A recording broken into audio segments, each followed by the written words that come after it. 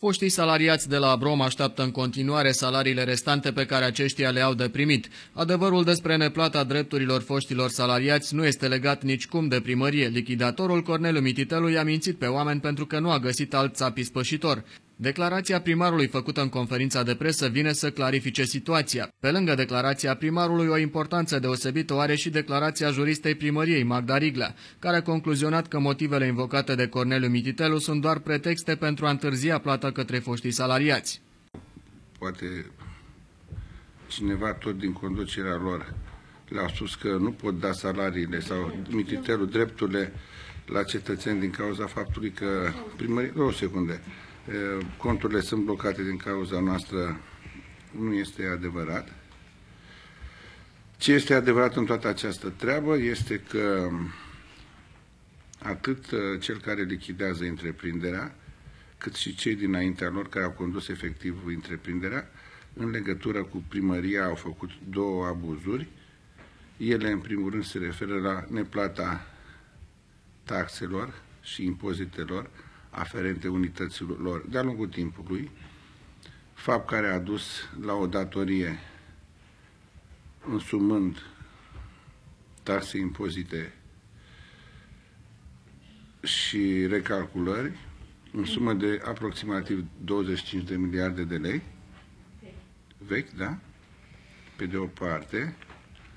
Pe de altă parte, eu personal și conducerea și echipa noastră am descoperit un abuz în masa credală, unde cei de la Abron, printr-o intervenție brutală, zic brutală că se vede neprofesionistă, pe un plan de situație, au vrut să ia din, din să spunem, terenul municipiului Bârlad, nu numai o suprafață care li s-a dat în anul 1992 pentru a face o nouă fabrică de corindon și ca, care, după părerea noastră, a căsu, a, au uh, prins societăți de la 837 în mod abuziv în patrimoniul lor, um, iar separat, iar separat, iar separat, au modificat, așa cum vă spuneam mai înainte, o suprafață de 7000 de metri pătrați. Este vorba de suprafața care ține chiar de la intrarea în obor până la zidul nostru, de la, până în, uh, în oborul propriu-zis.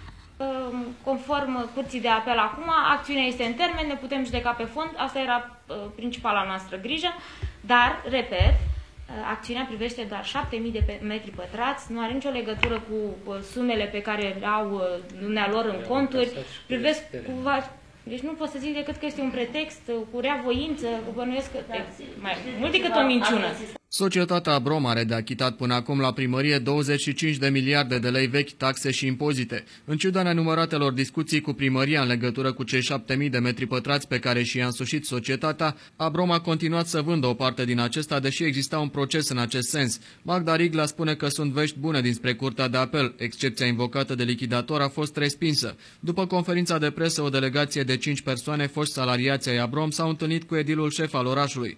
Constantin Constantinescu le-a promis oamenilor că prioritate vor avea salariații și apoi primăria, de îndată ce vor fi primite sumele cuvenite.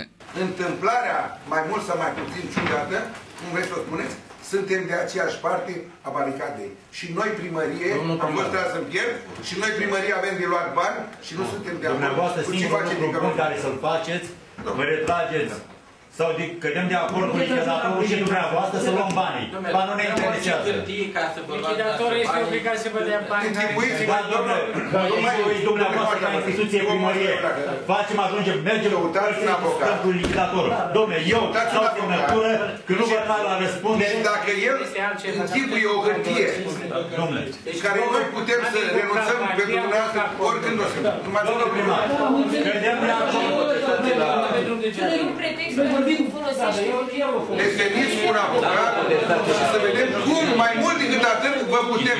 Eu teoretic vă spun clar.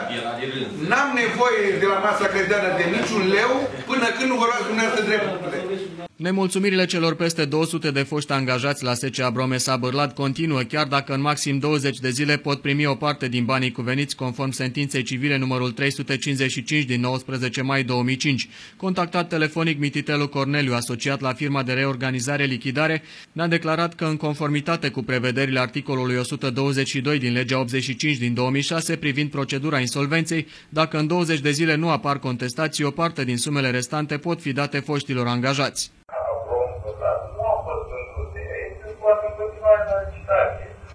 Iar legea 85 stabilește niște ordine de prioritate. Deci, în primul rând, iau cei garantați, respectiv PCR-ul, Direcția Generală a Finanțelor Publice și PND-ul. După aia vin salariați. Cei 219 foști angajați pot consulta anexa 1 la planul de distribuire parțial între creditori pe infotextul Media TV în intervalul 25 ianuarie 2008-28 ianuarie 2008.